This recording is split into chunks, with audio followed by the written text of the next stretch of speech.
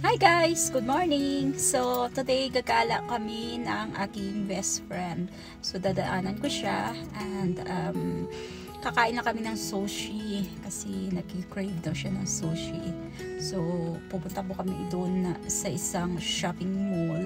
Uh, mga 30 minutes drive mula sa amin. Um,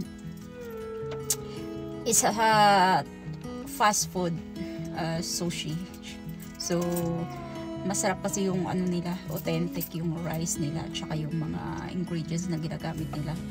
Uh, mas masarap pa kaysa mga ibang Japanese restaurant dito na nandito sa amin. So, kaya lagi kaming napunta dun. Kasi, tsaka yung rice nila eh talagang authentic uh, Japanese rice yung ginagamit nila. Hindi katulad ng iba na matigas. Kaya, tsaka mas mura din dun Uh, and then marami din mga shops so you can do window shopping.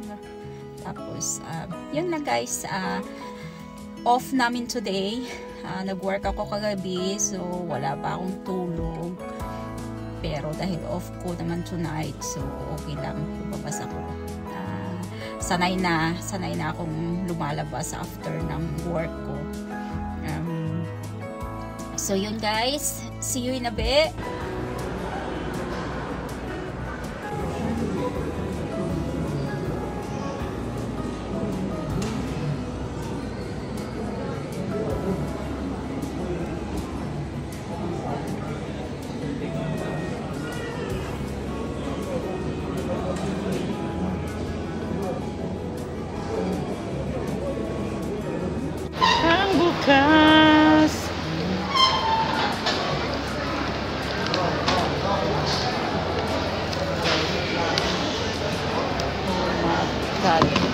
Sarap.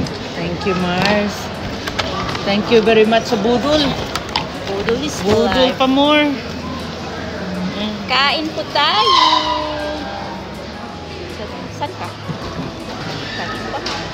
Masarap kang kumain eh. Dito pa. Dito ako. Sige, sige, sige, sige. Harap ako dito.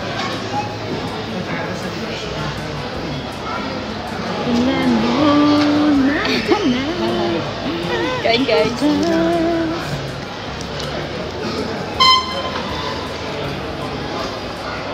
Karo rin ng vlogging. Ha? Kain po tayo. Best friend ko si Lani.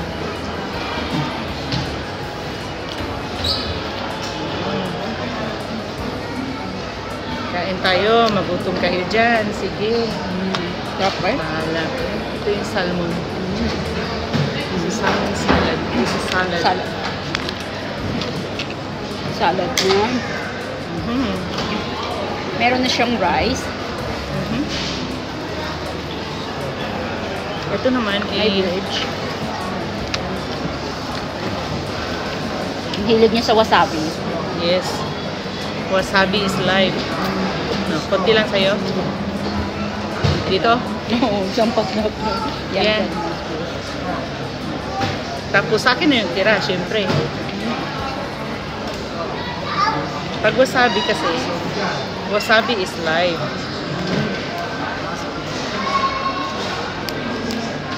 Salad.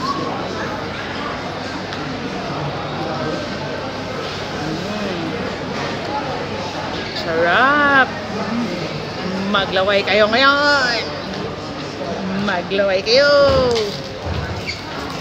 Ah. Teka lang, nasan yung isang wasabi dito?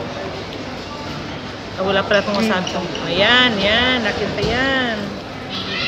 Ayaw mo na? Ayaw mo na? Ayoko na. Okay na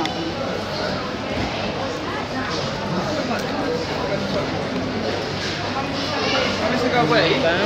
We're gonna get that seat right there now. Alright? Come on, mate. Pa mag sa Japanese restaurant ka, dito okay na, sulit na. Mm. Sarap. Murang-mura guys. As in. Paborito to is wasabi. Wasabi is life. All time favorite. Pagpapalit mo yan, yan. Tapos, halo-halo lang si salad. Tapos dito, meron ka na, ah, basta ito beans, pwede na yan. Beans na din yun. Kasi tikman, tikman natin yung isda kung presko. Eh, presko naman talaga ito. Always na. Di ba? Oh. Thank you, Mars. Mmm, sarap. Mm. Sarap. Yan pa lang, busog na, mabubusog ka na eh.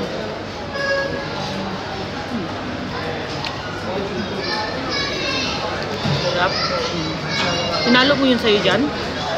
Ang ano nila, ano, ang ganda ng pagkahiwa ng avocado. Talagang, ba't di natin magaya yung avocado lantik na yan? Fresh na fresh.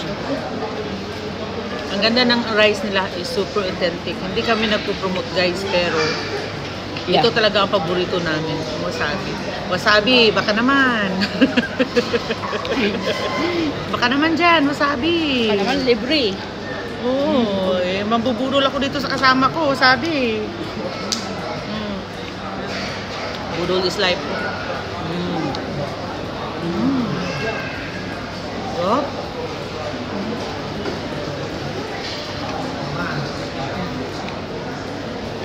Simpleng kaligayahan. Very authentic ang rice. Ah, No? Hindi talaga Yung size na very authentic. Kung masabi na to, nakakadami ka na sa amin ha. Medyo malayo to sa amin, guys. Kaya lang, Talagang po food trip kami. masarap kasi yung kanang ng ano. Oh, tingin kayo, maglaway kayo. Ah.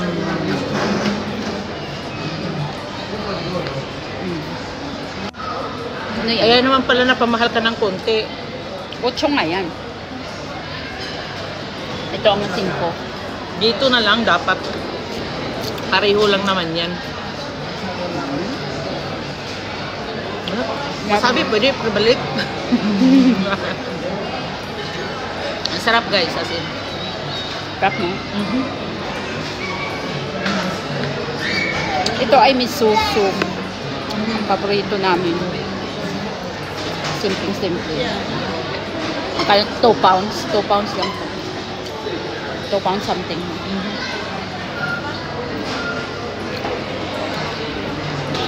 3 pound 99. 2 pound 99. Parang ganun. Ganun. Pero yung rice niya super soft. As in talaga. Nagja-Japanese ka pa, magbubuka pa ng table. O order ka pa, while dito, kuha ka lang ng kuha. Pag gutom ka, balik ka dun, oh.